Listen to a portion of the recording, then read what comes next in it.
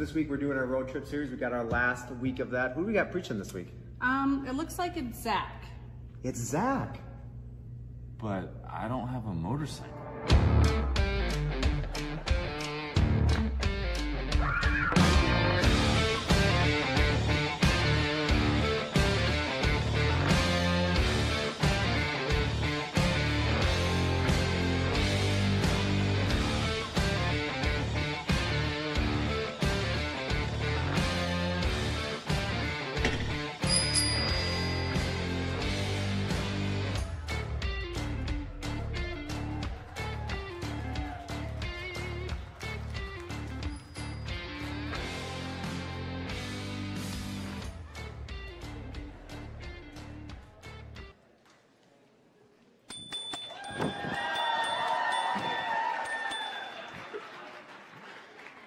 Promised my daughter I would return this safely.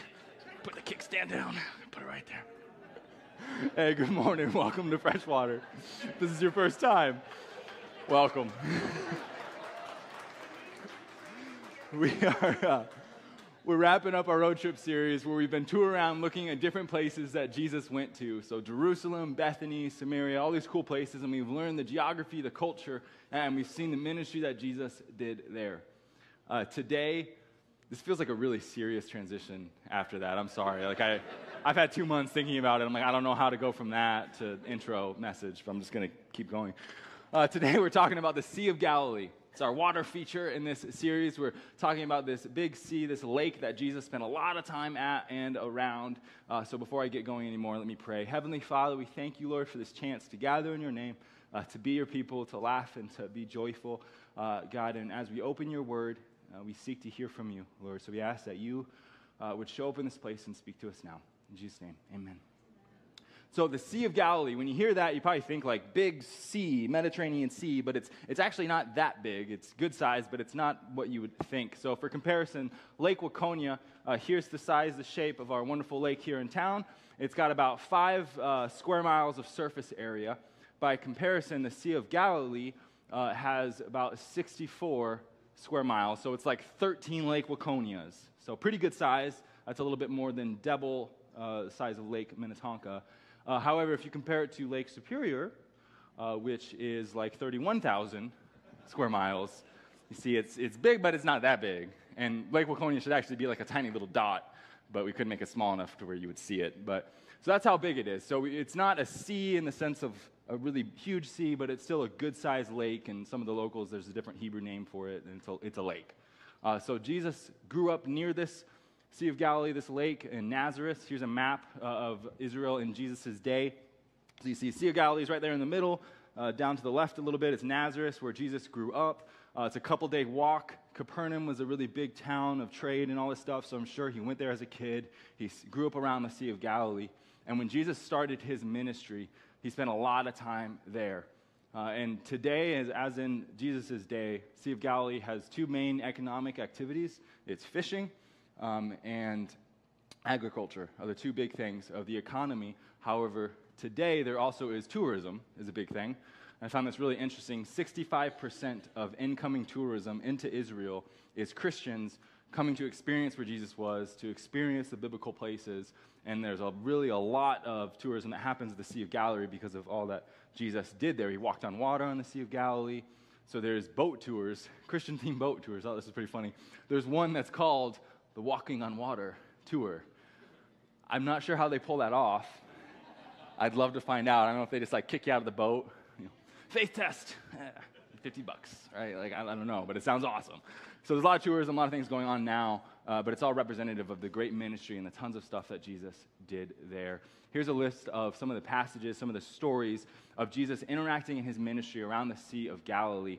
He called his first disciples, um, that they were fishermen Peter, uh, Simon Peter, Andrew, James, John. They were fishing literally, coming in on the shore of the Sea of Galilee. And he said, Come follow me, I'll make you fishers of men. He fed the 4,000 and the 5,000. These great miracles that he did happened right along the shore, right by the Sea of Galilee. The Sermon on the Mount, probably the most famous uh, sermon from Jesus in Matthew 6, 7, 5, 6, and 7, happened on a hillside, a, mountainside overlooking the Sea of Galilee. So you can imagine that was the backdrop Uh, he walked on water, as I mentioned, on the Sea of Galilee. He calmed the storm one time, they're in, in a boat with all the disciples, and this crazy storm comes up, and they're afraid they're going to die, and he calms the storm on the Sea of Galilee. And then there's a couple miraculous catches of fish. He says, Put your net, your net over here, and then they're overflowing with all these fish and stuff that he's caught. Uh, and then lastly, one that I wanted to highlight in John 21, after Peter publicly denied Jesus multiple times, uh, Jesus reinstates Peter, and he was fishing on the Sea of Galilee and met him on the shore and reinstated him to ministry and to the work in the church. And that's just like a sampling. If you read the Gospels, you see over and over again mentions of they walked by the lake and they crossed over the other side of the lake and they were by the sea and they were in this town, which is right on the shore of the Sea of Galilee. And so over and over again, uh, it shows up in the work and the ministry of Jesus. And as I looked at all these passages and studied it this week, I came to this conclusion that the Sea of Galilee is a place where the power of Jesus was on display.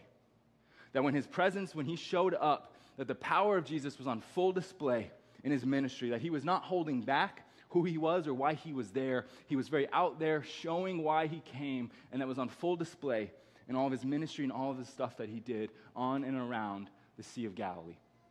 And I mean, if you really look at it, there's three factors, three themes that repeatedly show up in all these different stories, things that Jesus did over and over again uh, around this big lake. And that's what I want to look at today. Luke chapter 8 is, a, is one of those stories I haven't highlighted yet that has all of Jesus, all of his ministry, these three factors that he did over and over again in this one story. And I want to look at it more in depth with you. So if you have a Bible, I invite you to turn to Luke chapter 8. We're going to look at this story a little bit more together and to see these three things. And I, and I, have to admit, it's kind of an odd story that I thought I would never willingly preach. Uh, but here I am. God really put it on my heart this week. And I think there's a message in it for you. So turn to Luke chapter 8. We're going to be in verse 26. It'll be on the screens as well. You can pull it up on our app or on the website. But Luke 8 26 says this They, Jesus and the disciples, sailed to the region of the Gerasenes. I don't actually know how to say that at all. I'm butchering that. To some place across the lake from Galilee. When Jesus stepped ashore, he was met by a demon possessed man from the town. For a long time, this man had not worn clothes or lived in a house, but had lived in the tombs. When he saw Jesus, he cried out and fell at his feet, shouting at the top of his voice, What do you want with me, Jesus, Son of the Most High God? I beg you, don't torture me. For Jesus had commanded the impure spirit to come out of the man. Many times it had seized him, and though he was chained hand and foot and kept under guard, he had broken his chains and had been driven by the demon into solitary places. Couple things to point out before we keep reading. Uh, the region that he's going to is a Gentile region. That means it's not Israel, it's not Jews. Uh, different religion, different culture. They would have been seen as very unclean, not the type of people the Jews wanted to associate with. But Jesus is crossing over into their region, and he has this crazy guy, Crazy Pete, that comes up and meets him on the shore. And, and so this would have been a very different figure, very different from Israel that Jesus would have ever encountered. And you see that the guy calls him son of the Most High God. The Gentiles believed in multiple gods, so he's saying he realizes that he's the son of the Most High God, the God, as he's interacting with him. And Jesus asked him, What is your name? He says, Legion. The Roman army had different segments, the regiments they divide up into. The largest one was called a legion, which is about 5,000 soldiers, a little bit more. So this guy has a lot of demons. Uh, it says because many demons had gone into him, and they begged Jesus repeatedly not to throw them into the abyss. The abyss is mentioned in Revelation 9 at the end of the Bible, and it, it's this uh, place of eternal of, of confinement for evil spirits. It's where they're going to end up. And so the demons know that, and they're asking Jesus to show mercy on them and to not cast them into this place of confinement. And, and Jesus actually shows them mercy.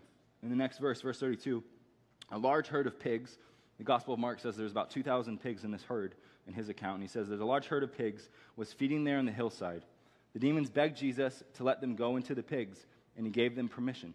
When the demons came out of the man, they went into the pigs, and the herd rushed down the steep bank into the lake and was drowned. So the demons come out of this guy, and they go into these pigs, and the pigs rush down into the lake and drown and die. This is why I said the story is odd. I've never understood that. It's always been bewildering to me. I'm like, why, why bother them coming out of this guy and going into these pigs, and the pigs just kill themselves? But I felt a little bit better as I researched this more that no one really knows why. The, the Bible doesn't give an, an, an, explanation in this account. There's theories, but it's all just conjecture. We don't know if it's the pigs were just kind of rebelling against the demons and drowned themselves. We don't know if it's the demons just being weird and destructive because that's their nature. We don't know why. But the pigs go down and drown in the water. It's kind of a weird scene as Jesus has cast these demons out of this guy. But this first factor, this first thing we see is a miracle. We see that Jesus performs a miracle by casting these demons out of this man. This possessed man that had potentially thousands, is what it's alluding to, thousands of demons in him, that Jesus has cast them out. He's performed a miracle. A miracle is a supernatural event that cannot be explained outside of divine intervention.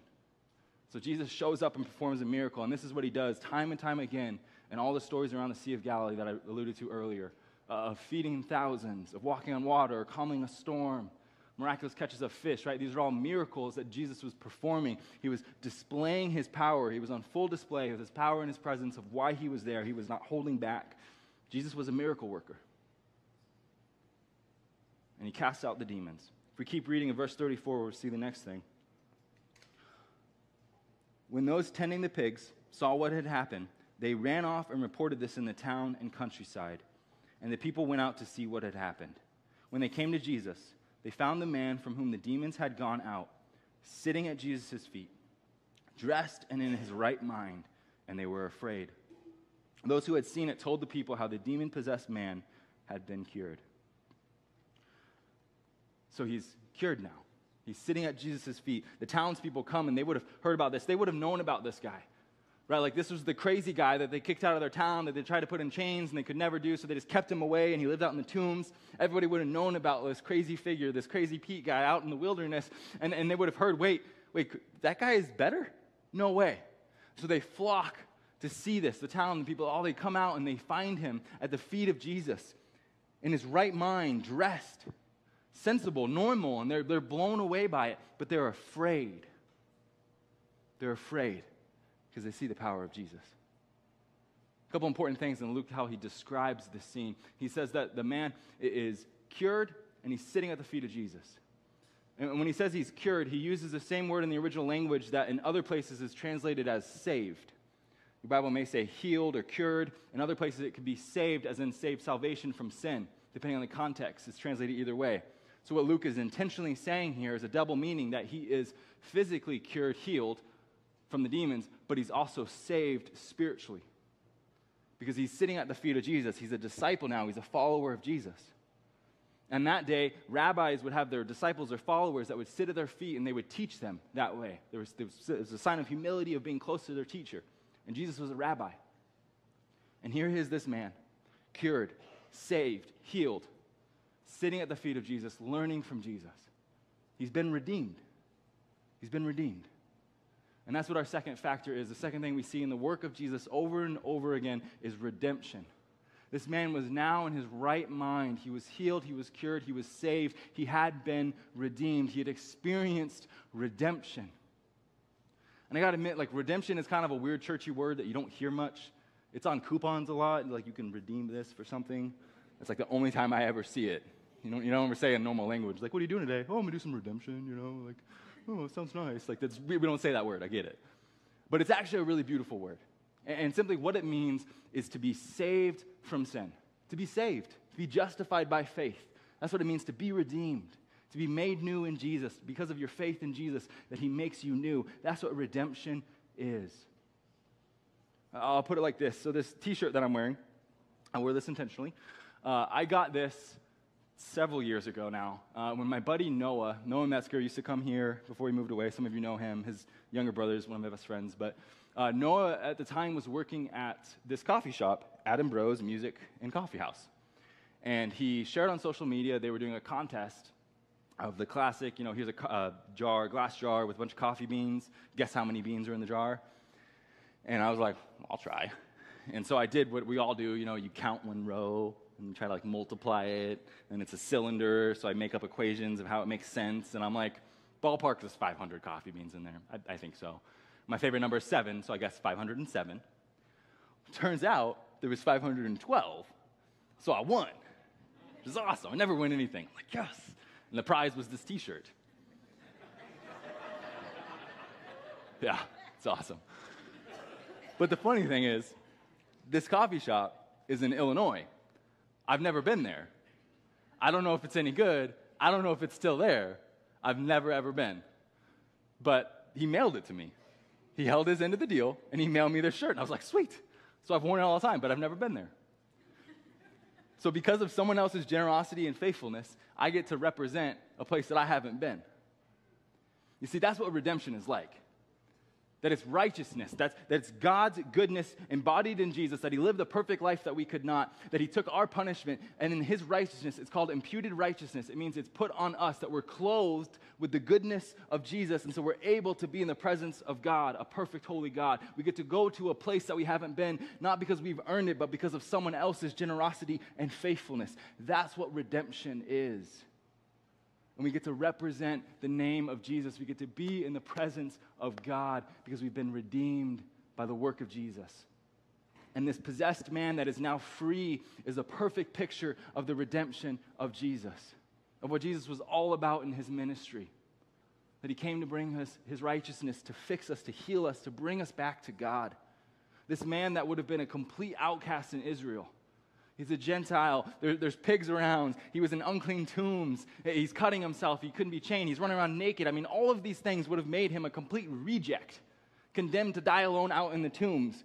But here, Jesus welcomed him at his feet, saying, Yeah, he could be one of my followers.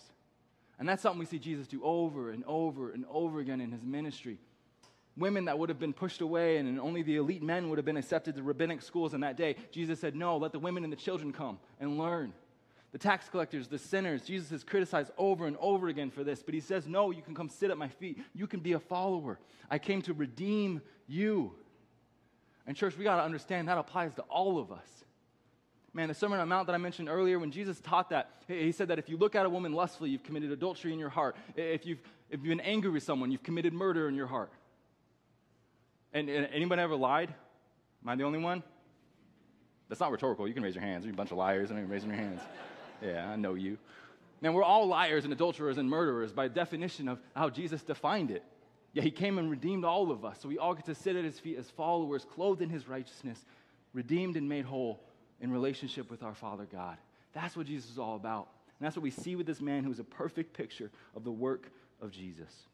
Let's keep reading to see the third and final thing. Verse 37. Then all the people of the region of the town that I can't pronounce asked Jesus to leave them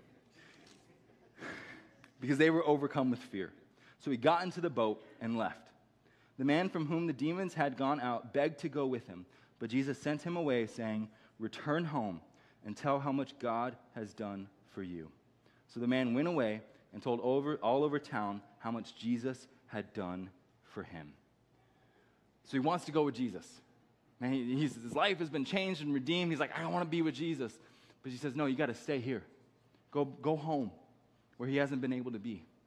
I mean, imagine being that guy's family his cousin, his, his wife, and kids just rejected, and he couldn't have been around them at all. Now he gets to come home, and Jesus says, But you're not just going to go chill there. You're going to go tell everyone what God has done for you. And he does. He goes, he lives, he has this purpose, this mission now.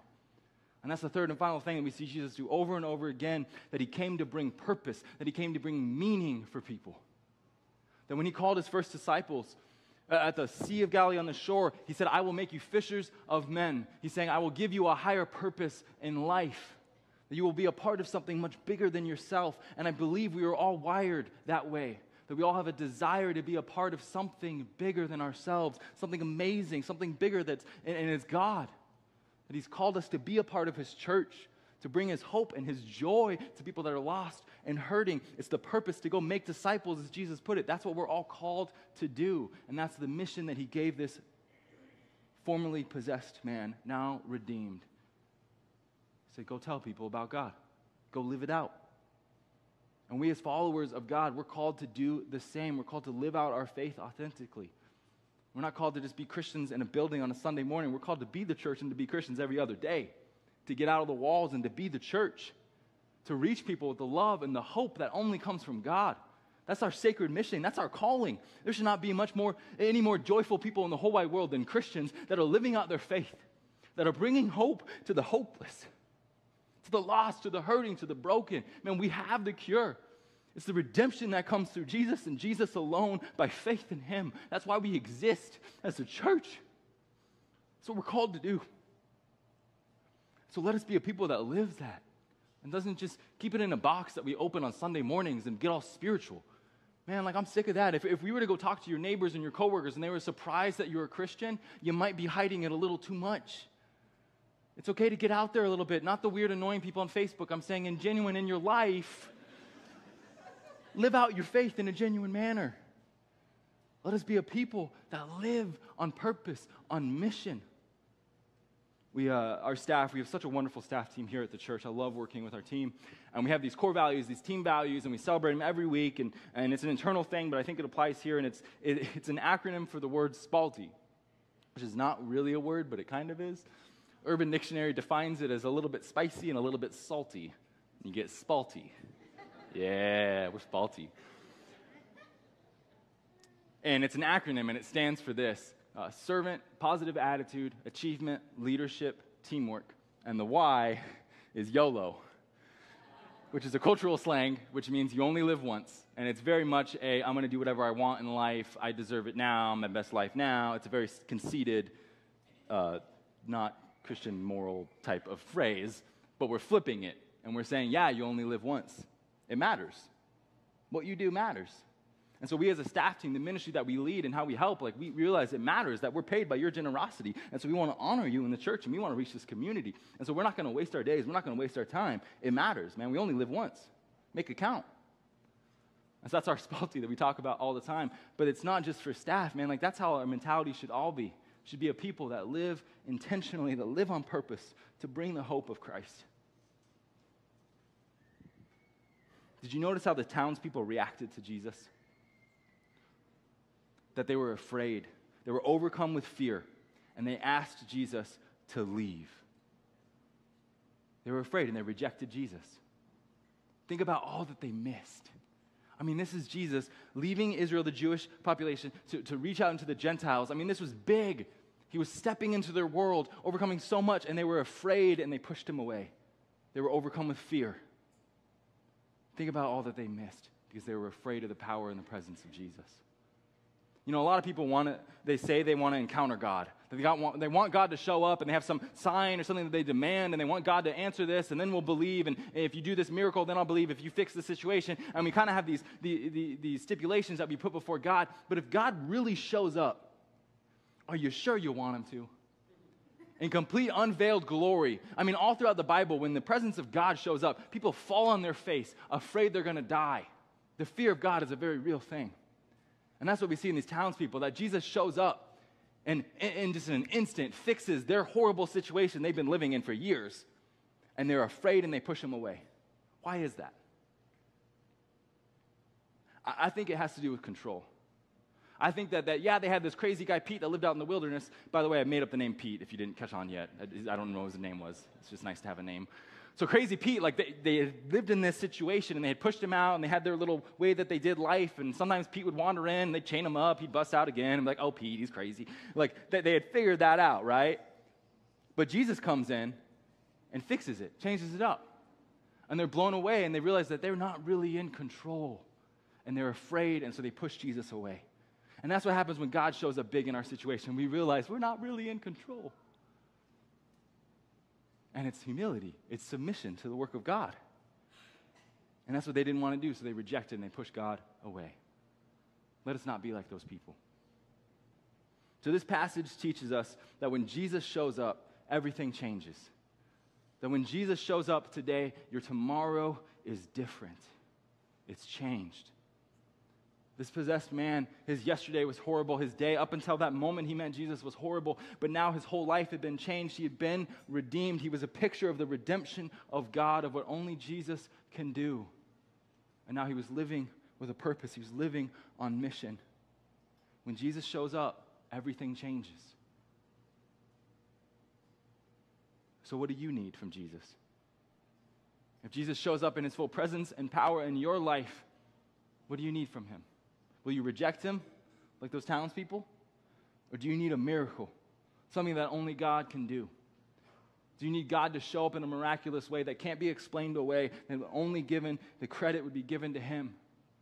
And we primarily do that through prayer. We cry out to God. We ask Him to show up in our situations. So our prayer team is always up here at the end of service. You can write requests at the cross or on the app or the website or whatever. But we are always going before God because we believe prayer moves the heart of God, that He works through the prayers of His people, that it's a primary work of His people. And so we pray and we cry out to God to do miracles.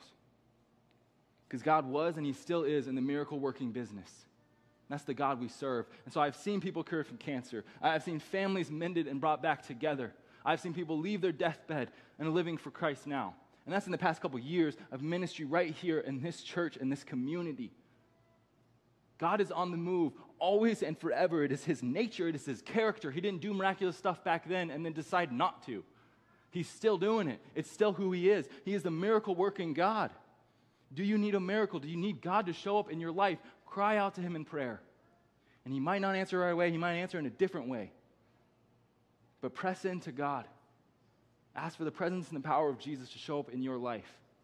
Do you need redemption? Do you need to be redeemed? Do you need God to show up, to make you whole, to, to, to, clothe you with His righteousness and His goodness so that you can have a relationship with your Creator God, so that missing thing in your life would be filled? Is that what you need? Because the power and the presence of Jesus brings that. He brings His redemption to you. You're never too far gone. You're never too far gone. You're never too far gone. And I'm not just talking one time redemption, I'm talking every day. We need to be a redeemed people, realizing that we are saved by the blood of Jesus and we live from that place. Because we all have this proclivity that once we're saved, that then I'm going to try to just fix myself and put it back on my own shoulders. We all want to take back control. And God's like, no, set that aside. Humble yourself before Him. Be a redeemed people every day. Daily die to yourself, the scripture says. It's living out redemption, living as a saved people that points others to Him to be like this man sitting at the feet of Jesus, cured, healed, saved, redeemed. Do you need redemption in your life? Humble yourself before God and you'll find that in Jesus. Do you need purpose? Does life feel empty? You're just going through the same motions, uh, trying to get the next gadget for a temporary fix to, to, to, to kind of scratch that itch a little bit. That, that's going to fade too. Ecclesiastes, all is meaningless under the sun. Not that it's not enjoyable and great for a season, but it's just a season. But we live on a with a purpose that surpasses every season of life.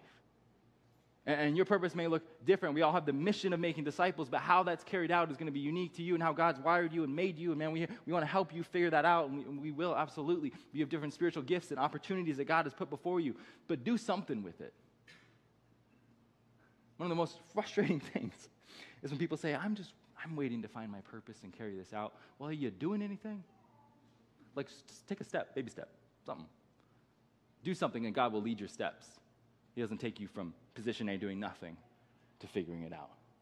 It's a journey, it's a process, and God wants to walk you with, with you on that, living out your purpose. I'll finish with this. And after this story about this crazy Pete that we just read, when Jesus leaves there and he goes back over to the other side, it says this in verse 40, the next section. Now, when Jesus returned back to Galilee, a crowd welcomed him for they were all expecting him. I love that contrast. That the townspeople on the other side of the lake were afraid and rejected Jesus. But when he goes back over here, there's a crowd that's waiting with anticipation, that welcomed the presence of Jesus, that they had seen him work. They knew he was a miracle worker. They know he brought redemption and that he had purpose and meaning, and they wanted that and they welcomed him back. May we be like that second crowd, church. May we welcome the presence of Jesus, invite him into the spaces of our life, live out his redemption, live on purpose, and see him do what only he can do. Heavenly Father, we thank you, Lord, for all that you've given us. God, we thank you for your grace and your gospel. Lord, Heavenly Father, we ask that you would do a miracle. God, that you haven't changed, and that is who you are and what you do. And we ask that you would, in all these situations, these pains, these worries, anxieties we have, Lord, we give them over to you. And we ask you, whether it's your healing hand, your protecting hand, your comforting hand, whatever it is, God, that you would do a miracle in our lives.